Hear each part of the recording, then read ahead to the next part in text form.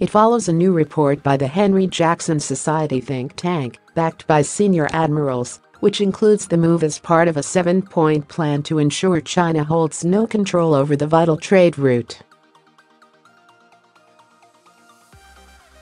More than 12% of British trade passes through the South China Sea each year, worth £92 billion. In September Britain was accused of provocation by Beijing after HMS Albion, an amphibious assault ship which usually carries Royal Marines, was deployed to the South China Sea on a freedom of navigation exercise. The Royal Navy vessel was briefly chased by a Chinese warship, and her decks buzzed by low-flying Chinese fighter jets as she sailed near the Parcel Islands, controlled by China, but claimed by Vietnam and Taiwan.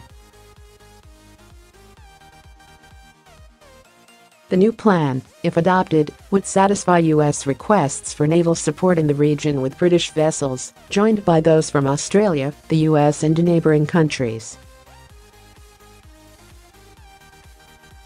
The report's recommendations include the creation of a Pacific NATO to deter attacks on smaller countries that seek to uphold the law of the sea, for the Royal Navy to have a permanent facility in Singapore and or Brunei and investment in new capabilities to circumvent potential opponents' increasingly sophisticated anti-access and area denial systems. But it is the multinational task force idea which is proving popular with Royal Navy planners. Last year's National Security Review reaffirmed the global Britain aim to champion the world's rules-based system and to respond robustly to harm the UK and destabilize the world order.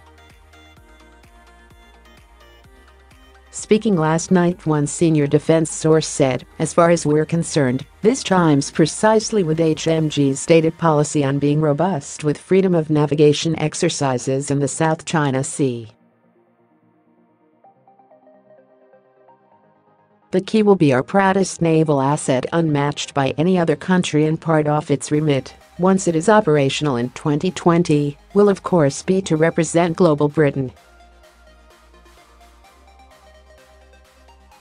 Being at the center of a multinational task force is one way of achieving this, whilst ensuring that a vital trade route remains open and territorial waters are respected.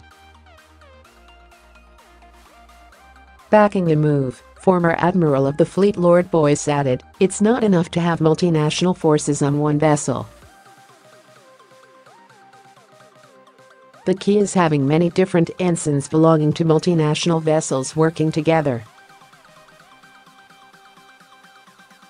Former First Sea Lord Admiral Lord West added, the illegal activity of the People's Republic of China in the South China Sea is increasingly dangerous and should not be ignored.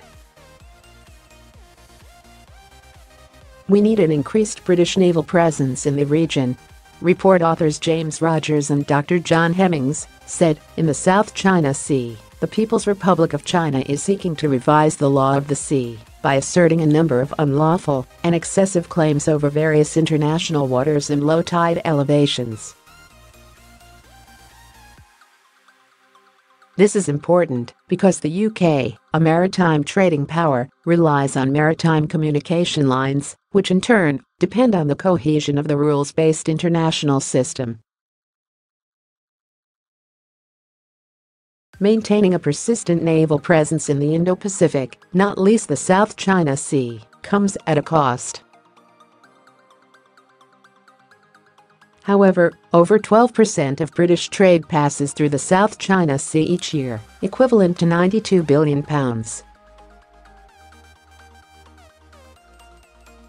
The question is not whether the UK can afford to do this, but whether it can afford not to.